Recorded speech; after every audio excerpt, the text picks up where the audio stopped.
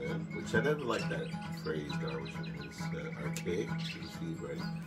You know, it should be. Now, today with pronouns, if uh, women are gay? Well, you, you want to go into? What what's the pronoun down there? I'm a, I'm a garbage day, you know, for example.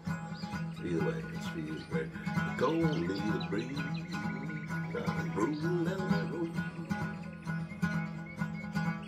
They call me the breeze, like you rolling down that road.